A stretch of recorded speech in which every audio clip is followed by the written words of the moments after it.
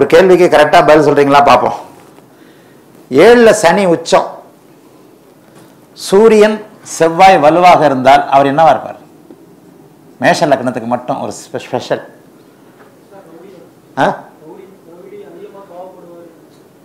என்னவாக இருப்பார்? தொழில்.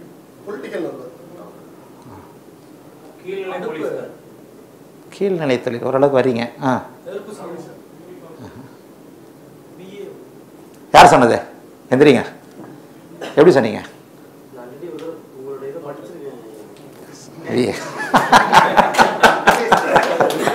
ஏன் கிளாஸுக்கு வரீங்க?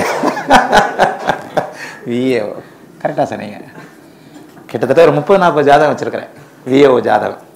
விஏஓ மக் அதாவது சனியின் மிக மிக முக்கியமான ஒரு காரகத்துவம் மக்கள் தொடர்பு. மக்கள் தொடர்பு உள்ள பணி. ஒரு கிராமத்தில் அரசையும் மக்களையும் இணைக்கிறவர் வில்லேஜ் அட்மினிஸ்ட்ரேஷன் ஆஃபீஸர் இல்லையா? இந்த ஜாதகங்கிறதுல ஒரு முப்பது நாற்பது ஜாதகம் இருக்குது நான் பார்த்தோன்னே டக்கு டக்குன்னு சொல்லிடுவேன். அதாவது இதில் ஒரு சின்ன இதை மட்டும்தான் பண்ணணும். எப்படின்னா வில்லேஜ் ஆஃபீஸரும் ஒன்று தான் கவுன்சிலரும் ஒன்று தான் கவுன்சிலர் அந்த சாக்கடை கடை கட்டுறவர் தான். கவுன்சிலர்னு வந்துட்டிங்கனாலே மேயர் வரைக்கும் வந்துட்டிங்கனாலே சனி வலுவாக இருக்கும். மேயரில் உட்காந்து எல்லாருடைய ஜாதகத்தையும் பார்த்தீங்கன்னா சனி வலுவாக இருக்கும்.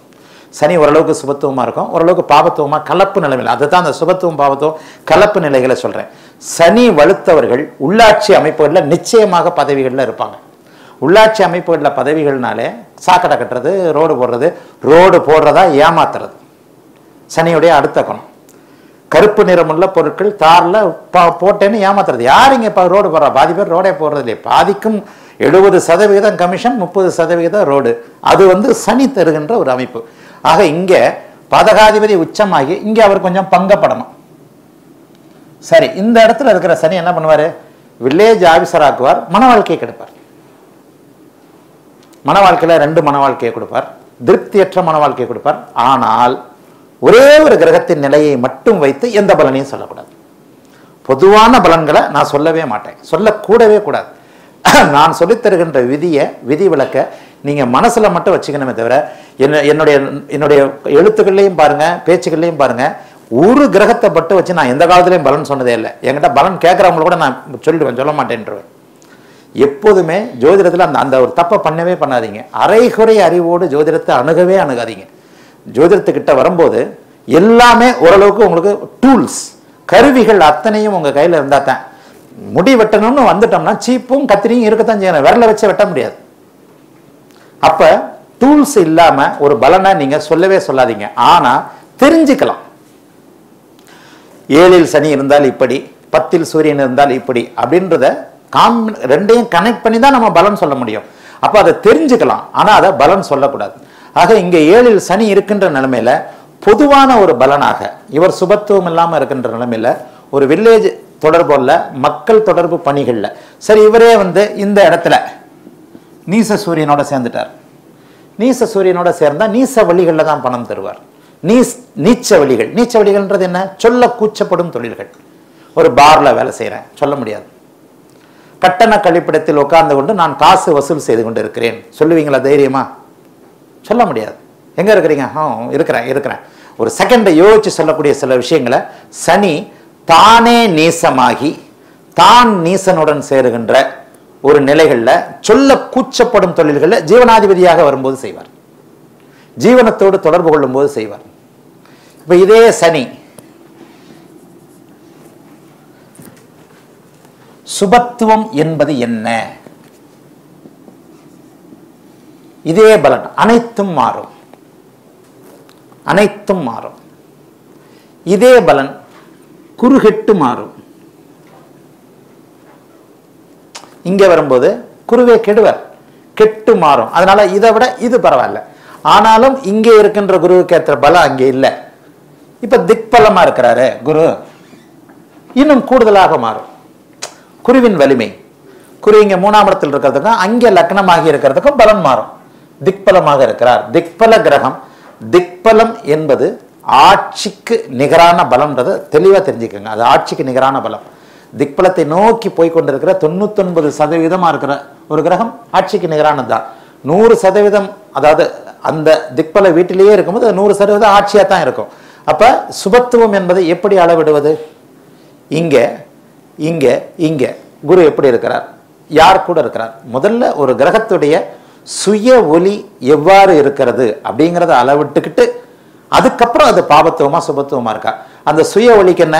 முக்கியமாக இப்போ வந்து என்னை ஞாபகப்படுத்துங்க. இன்றைக்கி நான் கிளாஸில் இதை உங்களுக்கு செல் இதை இதை ஞாபகப்படுத்தணும்னே இருந்தேன். ஷட்பலம். இந்த ஷட்பலத்தை சொன்னாதான் உங்களுக்கு சுபத்துவம் புரியும். ஷட்பலம்ன்றது ஒரு ஆறு விதமான பலன்கள் பலங்கள் சொல்லப்படுகிறது.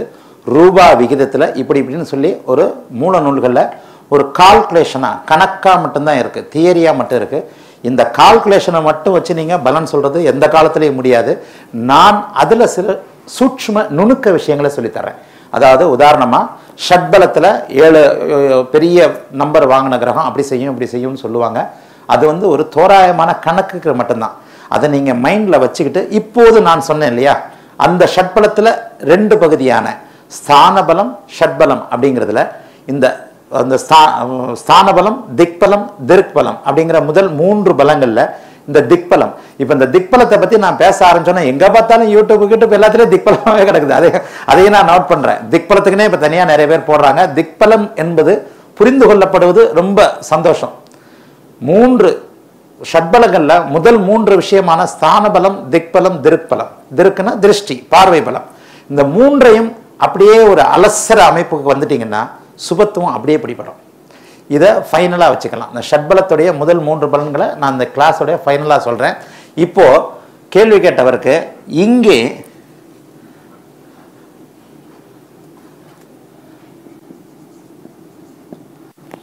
பாதகத்தை அதிகமாக செய்வார். சுபத்துவமாக இருக்கும்போது. பாதகத்தை செய்ய மாட்டார். சனி வக்கரம் ஆயிடுச்சுன்னா பாவ கிரகம் வக்கரமாகும் போது பாதகம் இருக்காது. புரியுதா? பாபக்கிரகம் கிரகம் வக்கரமாக இருக்கின்ற நிலைமையில பாதகம் நிச்சயமாக இருக்கார்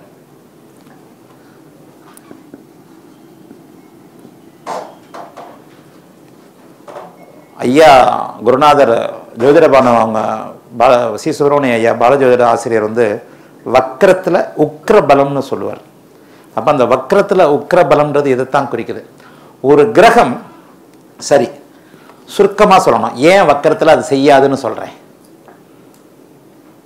சரி டைம் கருதி நானே டக்கு டக்குன்னு சொல்லிக்கிட்டே இருக்கிறேன். முக்கியமான சந்தை. சொல்ல வந்தீங்க ஏதோ. கரெக்ட் அதே தான் அதுதான். வக்ரம் என்பது இயல்புக்கு மாறானது. சரியா? நீங்க சொன்னதை நான் ரெண்டு வார்த்தையில் சொல்லிட்டேன். அப்போ இந்த இடத்துல இயல்பு என்ன? பாதகம். இயல்பு என்ன? வக்ரம் ஒவ்வொரு வார்த்தையும் நுணுக்கமாக கவனிச்சிட்டிங்கன்னா உங்களுக்கே புரிஞ்சிடும்ல நான் என்ன எழுதியிருக்கிறேன்? வக்ரம் என்பது என்ன? நோ ரிவர்ஸ் இப்படிலாம் வேண்டாம்.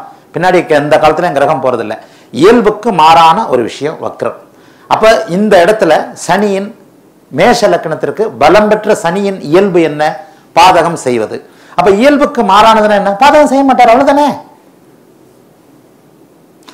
ஜோதிடத்தை இன்னொருத்தர் கற்றுக் கொடுக்கணும்னு நினைக்கவே நினைக்காதீங்க. அப்படி நான் நினைச்சிருந்தேன்னா நான் உங்க முன்னாடி இப்போ கற்றுக் கொடுத்துக்கிட்டு இருக்க மாட்டேன். நான் வந்து ப்ரொஃபஷனல் அஸ்ட்ராலஜராக வருவேன்னு நினைக்கல. நான் வந்து இந்த மாதிரி கிளாஸ்லாம் எடுப்பேன்னு கனவுல கூட நினைக்கல. அதெல்லாம் அப்படி சொன்னேன்னா அது ஜோசியத்துக்கே அசிங்கம். ஆனால் வந்துட்டேன். ஆனால் நான் யாருமே எனக்கு ஜோதிடம் கற்றுக் கொடுக்கணும்னு நினைக்கவே இல்லை. இயல்பாகவே எனக்குள்ள ஏன் இந்த விதி சொல்லப்பட்டது ஏன் இந்த விதி சொல்லப்பட்டது ஏன் இந்த விதி சொல்லப்பட்டது ஏன் இது நடந்தது? அப்படி ஓரளவுக்கு ஒரு வெறி பிடிச்ச மாதிரியான ஒரு ஆர்வம் இருக்கும்போது ஜோதிடம் ரொம்ப சீக்கிரமாக உள்ளுக்குள்ள ஒரு கை கைக்கு வரும். அப்போ இங்கே இயல்புக்கு மாறானதுன்னு சொல்லிட்டேன். இயல்புக்கு மாறானதுலேயே அத்தனை அர்த்தங்களும் வந்துடுதே ஏன் வக்கர கிரகம் பாதகத்தை செய்யாதுன்னு சொன்னேன்? சரி. ஜெயலலிதா ஜாதகம். குரு வக்கரமாக இருந்தா என்ன நடந்திருக்கும்? ஜெயலலிதாவே அவர் இருந்திருக்க மாட்டார். ஜெயலலிதாவே இல்லை அவரு. ஒரு சாதாரண ஹவுஸ் ஒய்ஃப் சாதாரண ஹவுஸ் ஒய்ஃப் அத்தனை தேஜசையும் கொடுத்தது அந்த குருவின் சுபவழி தானே அத்தனை தேஜசியம் கொடுத்தது அந்த குருவின் சுபவழி தானே சுபத்துவத்திற்கு அருமையான உதாரணம் இல்லையா? என்ன மாதிரியான உச்சத்துக்கு அடுத்த இது? சரி உச்சமா இருந்த உச்ச இது இது அப்படியே தலைகளை திருப்பிக்குவோம். உச்ச கிரகம் லக்னத்தை பா உச்ச குரு லக்னத்தை பார்த்துருந்தா என்ன? பிரதமர். புரியுதா? தமிழகத்திற்கு அகில இந்தியாவுக்கும் ஜெயலலிதா தெரியும். ஆனா ஜெயலலிதாவின் அதிகாரம் தமிழ்நாட்டுக்குள்ள மட்டும்தான். அதை எடுத்த உயர்நிலைன்னு சொல்ல வர்றேன். கடைசி வரைக்கும் அந்த அம்மா வந்து பிரதமர் கனவு கருணாநிதி கூட கலைஞரை கூட வந்து பிரதமர் கனவு அவர் அவர்கிட்ட இல்லவே இல்லை. என் உயரம் எனக்கு தெரியும் அப்படின்னு ஒரு ஒரு பேட்டியில் சொன்னார். ஆனால் அந்த அம்மாவுக்கு பிரதமராகும் கனவு இருந்தவே இருக்கவே இருந்தது. அந்த பிரதமராகும் கனவு வந்து அந்த கேஸால் இதாகுதுன்னு தான் அந்த அம்மாவுடைய மன உளைச்சலே இருந்தது. ஆக இங்கே குரு வக்கரமாக இருந்தால் அந்த இடத்துல நம்ம நீச நிலைன்னு கொண்டு வர வேண்டாம். நீச்ச நிலைன்னு கொண்டு வர வேண்டாம். நான் இப்போ கொஞ்ச நாளாக கொஞ்ச நாள் கொஞ்ச நாள் கொஞ்சம் கட்டுரைகளில் உச்சத்தில் வக்கரம் என்பது நீச்சத்திற்கு சமமானதுன்றதை நான் இப்போ எழுதுறதில்லை. முன்ன எழுதினேன். நானும் மனுஷன்தான். நானும் அனுபவங்களுக்கு ஏற்ப நானும் திருத்திக்கிறேன் என்ன. முதல்ல நான் வகுப்புகள்லையோ அல்லது எழுத்துக்கள்லையோ நான் சொல்லியிருக்கிறேன். ஒரு உச்சத்தில் வக்கரம் என்பது நீச்ச நிலைக்கு ஒப்பானதுன்னு எழுதியிருக்கிறேன். இப்போ நான் எழுதுறதில்லை. அதை வந்து இயல்பு நிலைக்கு மாறானதுன்னு தான் எழுதுறேன். ஏன்னா டைரக்டாக நீச்சமாகிறதுக்கும் உச்சத்துல வக்கரமாகி நீச்சமாகிறதுக்கும் வித்தியாசம் இருக்கு இல்லையா? அப்ப அதை நீங்க எப்படி சொல்லுவீங்க? என்ன இருந்தாலும் உச்ச கிரகம் உச்ச கிரகம் தான் உச்சமாகி பின் வக்கரமாகிறார். அப்ப நீச்சமாகி நேரடியா இருக்கிற கிரகத்திற்கும் உச்ச வக்கரத்திற்கும் சம்பந்தம் எல்லாம் போயிடும். கலைஞர் ஜாதகத்துல சனி உச்சம் வக்கரம் தான். ஆனா அவர் தொண்ணூத்தி ஐந்து வயது இருந்தார். நீச்சனாக நேரடியாக இருந்திருந்தால் ஆயுள் இல்லை. அத்தனை ஆயுள் இல்லை. கலைஞர் ஜாதகத்துல சனி உச்சம். அட்டமாதிபதியாகி அவர் சனி உச்சமாகி வக்கரம் இருந்தார். ஆனாலும் அவர் தொண்ணூத்தஞ்சு வயசு இருந்தார். அப்ப சனி நீச்சம்னு அங்க எடுத்திருந்தா அவருக்கு தீர்க்க ஆயுள் இல்லை. அப்போ நீங்கள் உச்ச வக்கரத்தை நீச்சம்னு நேரடியாக எடுத்துடக்கூடாது. சில நுணுக்கமான விஷயங்களை புரிஞ்சுக்கிட்டா தான் பலன் சொல்ல முடியும். நீச்ச வக்ரம் அப்படிங்கிறத உச்சம்னு எடுத்துட வேண்டாம். உச்ச வக்ரம்ன்றத நீச்சம்னு எடுத்துட வேண்டாம். இயல்புக்கு மாறான நிலைமை. இப்போ இங்கே வக்ரம் வக்ரத்தை பற்றி நிறைய பேர் என்கிட்ட யூடியூப்ல கேட்குறீங்க ஐயோ வக்ரம் வந்து இன்னும் புரியாத சப்ஜெக்டாக இருக்குது இப்போ இந்த வக்ரம் லேசாக புரியுதா? வக்ரம் என்பது இயல்புக்கு மாறான நிலை. அந்த வக்கரத்தை வச்சு எனக்கு ஆட்சி வக்கரம் ஆயிடுச்சு நட்பு வக்கரம் ஆச்சு இந்த வக்கர கிரக வக்கர திசையில பலன் செய்யுமா? இயல்புக்கு மாறானது. இந்த வார்த்தையை அப்படியே பிடிச்சிக்கங்க. இந்த வார்த்தையை பிடிச்சிக்கிட்டு தசா பலன்கள் சொல்லும்போது அப்ப இயல்புக்கு மாறானதுன்னா நேர் ஆப்போசிட்னு அர்த்தம். அந்த காரகத்துவத்தை கொடுக்குமா? கொடுக்காது. அந்த ஆதிபத்தியத்தை கொடுக்குமா? கொடுக்காது. எந்த விதமாக கொடுக்காது. இந்த இயல்புக்கு மாறானதுன்றது தான் நீங்க பிடிச்சிக்கணுமே தவிர பின்னோக்கி போகிறார் ரிவர்ஸில் போகிறார் அது போகிறார் இது போகிறார் நடக்கூடாது இங்கே புரிஞ்சுக்கிட்டீங்க. இங்கே வக்கரமாக இருந்தால் அவருடைய இயல்புத்தன்மை அவருடைய தேஜஸ்தான ஒரு ஜெயலலிதா ஏன் ஜெயலலிதா வந்தார் அதிகமான சுபத்துவம். அதாவது நம்மில் ஒருவர் கோடியில் ஒருத்தர். அவரை பார்த்தோன்னே அந்த இடத்துல காலில் விழுகிறோம். எதிரில் வரும்போதே உடம்பெல்லாம் நடுங்குது. பட பந்தாவோட வர்றாரு. நூறு இரநூறு கார் வருது. ஆக அவருக்கு அவ அவரையும் அவர் விரும்பியோ விரும்பாமலோ அத்தனை சகல அந்தஸ்து மரியாதைகளும் வருது. ஒரு தேஜஸா இருக்கிறார் பேரரசியோ மகாராஜனோ மகாராஜனோ மோடி வர்றார். மோடி வந்தாலும் அப்படித்தானே இருக்கிறார். சரி அப்ப என்ன நடக்குது இங்க? ஏன் நமக்கு மட்டும் நமக்கு கிடைக்கலையே? நமக்கு வந்து பத்து ரூபாய் கொடுத்தா தான் அந்த வாசல் கதை திறக்கிறவங்க கூட சல்யூட் அடிக்கிறான். இல்லைன்னா அடிக்க மாட்டான். நாலு தடவை வந்து போங்க. பத்து ரூபா கொடுக்காம இருங்க. அடுத்த தடவை அப்படியே மூஞ்சி திருப்பிட்டு தான் போவான். ஆக நமக்கே அந்த மரியாதை கிடைக்க மாட்டேங்குது. அப்ப அந்த மரியாதை கிடைப்பவரின் ஜாதகத்துல உள்ள வித்தியாசம் என்ன? இதை ஏற்கனவே நான் தெளிவா சொல்லியிருக்கிறேன். அப்ப அந்த அம்மா பிறக்கும்போது பௌர்ணமி சூரியனும் சந்திரனும் மிகப்பெரிய ஒளி உச்ச நிலையில ஒளி கிரகங்கள் பௌர்ணமி தினம். அந்த பௌர்ணமியோடு போகலையே. அந்த பௌர்ணமியோடு இப்போ அந்த ஜெயமணி மகரிஷி தத்துவமாக அது ஒண்ணு. அப்ப ஜெயலலிதாவுடைய ஜாதகம் அந்த ஜாதகத்தை கொஞ்சம் ஜூம் பண்ணுங்க. கட்டங்கள் இது ஜா போர்டு ரொம்ப முக்கியம். இப்ப இங்க பாருங்க. குரு வலிமை வாய்ந்த குரு உச்சத்திற்கு அடுத்த நிலையில் உள்ள குரு பங்கம் இல்லாத குரு லக்னத்தை பார்க்கிறார். அப்ப லக்ன புள்ளி அந்த அதுக்கடுத்து ஜெயலலிதா உள்ள உள்ள போனீங்கன்னா லக்ன புள்ளி எல்லாமே பார்த்தீங்க அதை கூட மத்தியானத்துக்கு மேல வேணா நடத்தலாம். லக்ன புள்ளியிலிருந்து ஆரம்பிச்சு நடத்தலாம். இன்னும் இன்னும் நுணுக்கமா போனா உங்களுக்கு புரியும்னா அதையும் நடத்தலாம். குரு இருக்கும் புள்ளி லக்னம் இருக்கும் புள்ளி இந்த மைய புள்ளிய. அது வந்து ஒரு சாதாரண விஷயம் தானே? இப்போ வந்து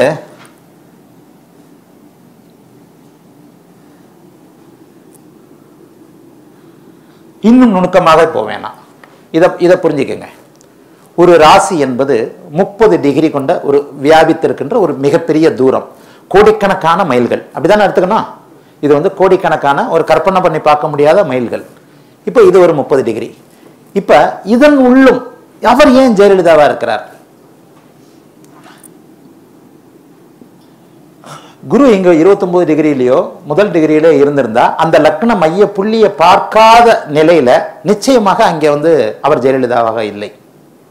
இப்ப இந்த இதற்கடுத்த சுற்றுமுன்னு உள்ள வந்துட்டீங்கன்னா லக்ன மைய புள்ளியும் பார்வை விழுகின்ற மையப்புள்ளியும். ஒரு கிரகம் இன்னொரு கிரகத்தை பார்க்கிறதா? இப்ப இந்த செவ்வாய் சந்திரனை குரு பார்க்கிறாரா? அந்த மைய புள்ளி ரொம்ப அவசியம். ஒரு கட்டுரையில் அதை பத்தி எழுதியிருக்கிறேன். பத்து டிகிரிக்குள். ஒரு கிரகத்தின் இப்ப நான் உங்களை பார்க்குறேன். மூணு பேர் எதிரில் உட்காந்துருக்கிறீங்க நேரில் இருக்கிறவரை சரியா எனக்கு நேரம் இருக்கிறவரை நிச்சயமாக நான் நன்றாக பார்ப்பேன். பக்கத்தில் இருக்கிறவங்கள என் பார்வையில் விழுவாங்க. அவ்வளோ ஒன்றும் ஒரு இதான பார்வையாக இருக்காது. ஆக இந்த மைய புள்ளிக்கு ல- இந்த குருவின் மைய பார்வைக்கு முன்பின் ஐந்து டிகிரிகளில் லக்ன மைய புள்ளி விழும்போது குருவின் முழு பார்வை கிடைக்கும். இது அப்படியே பாருங்க ஜெயலலிதா பக்காவா இருக்கும். இதைத்தான் நான் ஒளி மைய புள்ளின்னு ஒரு இடம் சொன்னேன். ஆர்டிக்கல்ல படிச்சிருப்பீங்க. ஜெயலலிதா ஏன் ஜெயலலிதாவாக இருக்கிறார்? அன்றைக்கு ஒரு இருபதனாயிரம் குழந்தைகளாவது உலகம் முழுவதும் பிறந்திருக்கும். மைசூர்லயே நாலஞ்சு குழந்தைகள் பிறந்திருக்கலாம். அந்த நேரத்திலேயே பிறந்திருக்கலாம். ஒரு ஒரு கோயின்ஸ்டன்ஸ்னு வச்சுக்கோமே. ஏன் ஜெயலலிதா மட்டும் ஜெயலலிதாவானார் அன்றைக்கு ஒரு இருபதனாயிரம் குழந்தைகள் உலகத்தில் பிறந்திருப்பாங்களே. ஏன் அப்போ அந்த இருபதனாயிரம் பேரும் ஜெயலலிதாவா ஆகலை? அதைத்தான் நான் சொன்னேன். ஜெயலலிதா பிறந்த அந்த மைசூர் மருத்துவமனையில் தான் இந்த பௌர்ணமி அல்லது வேறு விதமான மகம் மகம் நட்சத்திரம் சூரியன் சந்திரனுடைய ஒளி மைய புள்ளி இருந்திருக்கும்னு சொன்னேன். இப்போ இந்த ஒளி மைய புள்ளிய அடுத்த நிலையில நீங்க பார்த்துக்கணும்.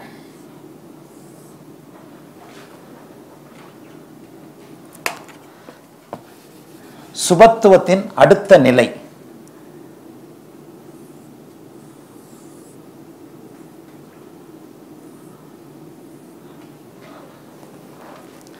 பூமி.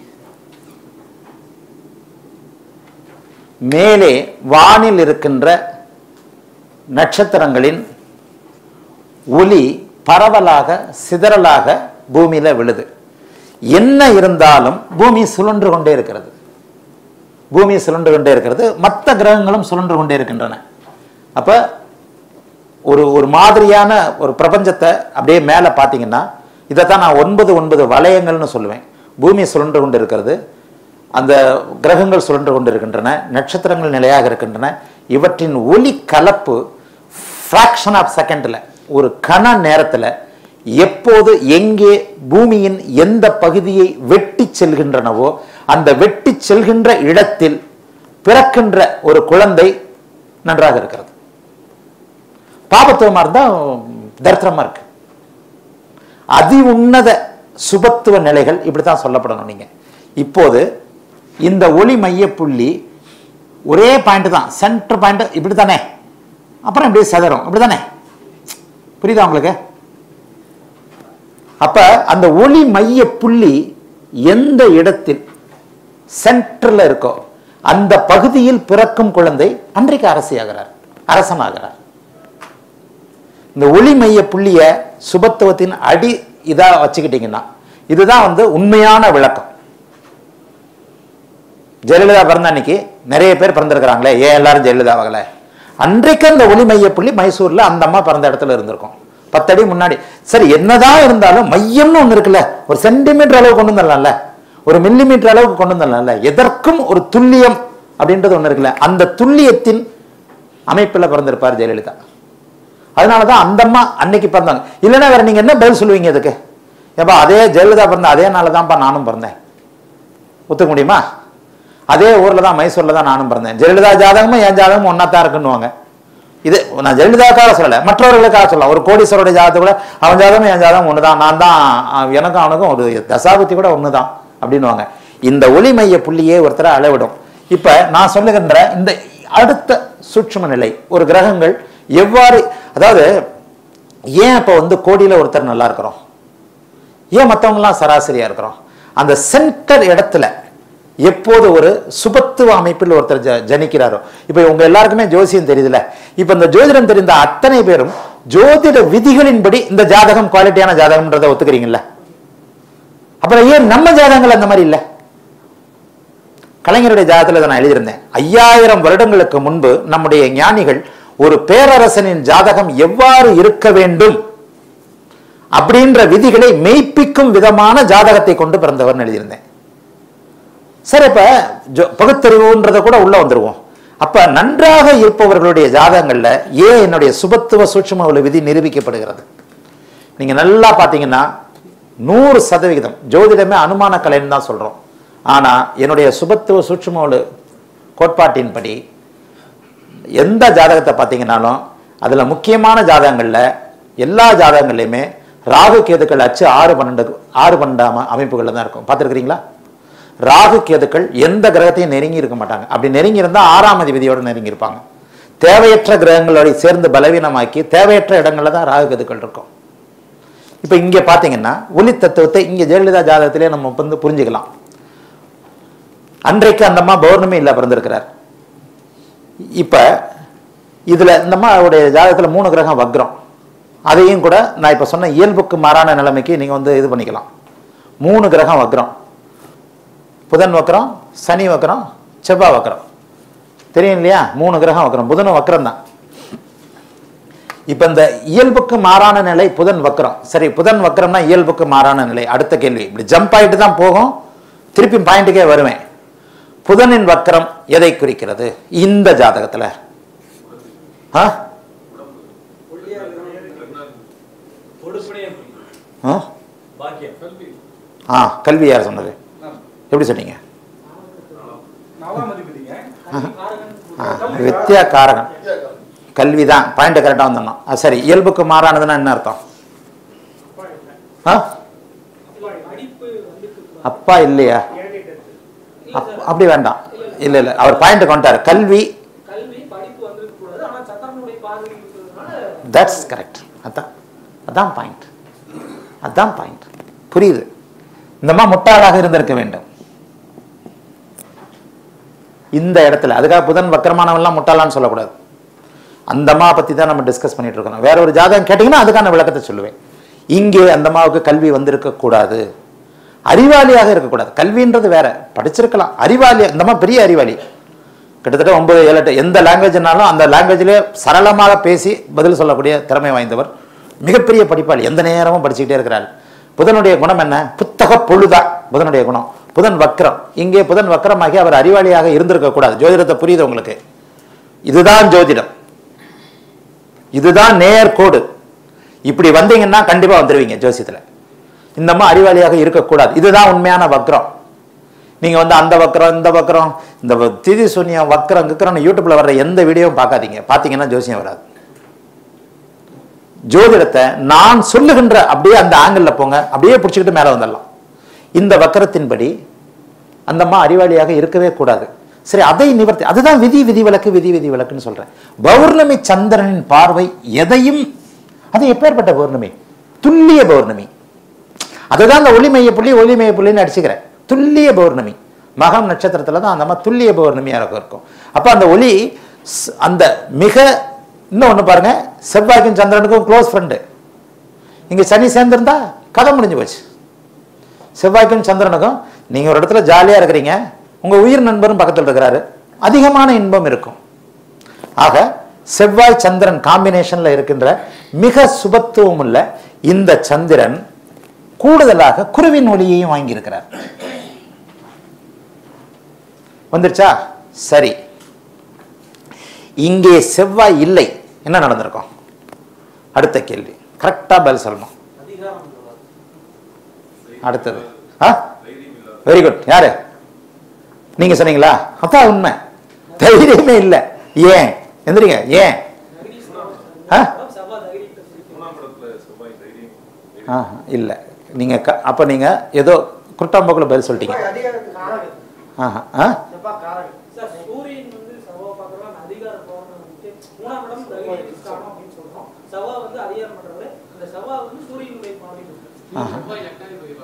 இல்லை.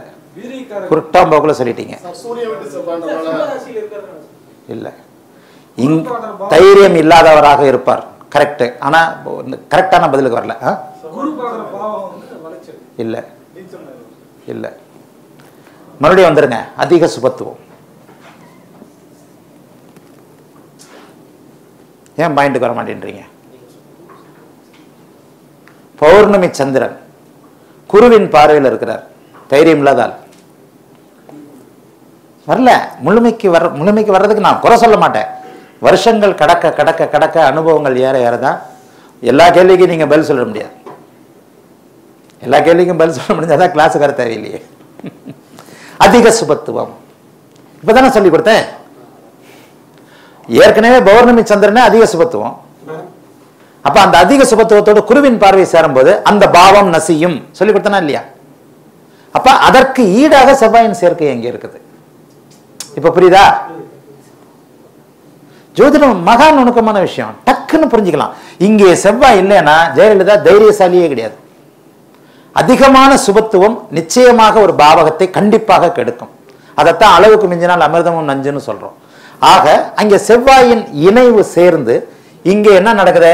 லக்னாதிபதி அதிகமாகிறார். அதாவது நல்ல வேலையா வக்கரமானார் இந்த இஃப் பட் அப்படி இருந்தால் இப்படி இருந்தால் இப்படி இருந்தால் இப்படி தான் ஜோதிடம் போகும். அப்படி போகும்போது தான் ஒரு முழுமையான இந்த கலப்பு திறனை கலப்பு சுபத்துவ பாபத்துவ விஷயங்களை நீங்கள் புரிஞ்சுக்க முடியும். இங்கே குரு லக்னத்தை பார்க்கிறார். நல்ல டிகிரியிலிருந்து பார்க்கிறார். உண்மையாக பார்க்கிறார்.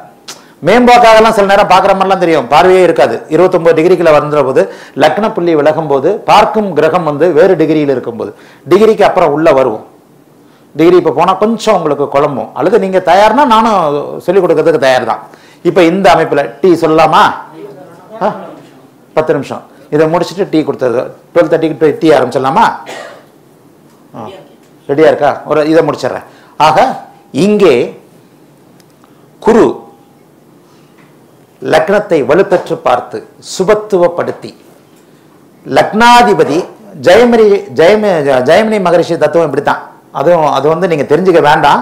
நான் ஒரு உதாரணத்துக்கு சொல்கிறேன் அவர் வந்து என்ன சொல்லுவார்னா இன்னொன்று பராசர மகரிஷி எல்லா ஒரு ஒரு மகரிஷியுடைய இதை வந்து இன்னொரு இதில் கலக்கக்கூடாதுன்றது மிக மிக துல்லியமான விதி. எல்லா விஷயங்களையும் கலந்து பார்க்கக்கூடாது. கேபி சிஸ்டம் பார்க்குறீங்கன்னா கேபியோட நிறுத்திக்கணும். பாரம்பரியம் பார்க்குறீங்கன்னா பாரம்பரியத்தோட வரணும். நாடின்னு வந்தால் நாடியோட வரணும்.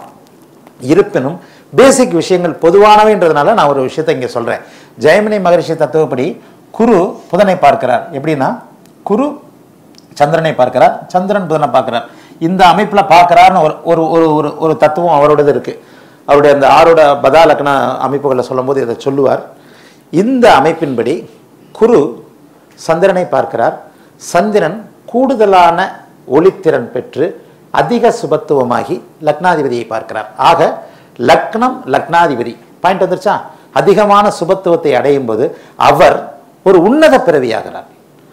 பங்கமற்ற விஷயங்கள் அவ்வளவும் நடக்குது. ஒரு உன்னத பிறவி. இப்ப இந்த லக்ன மைய புள்ளி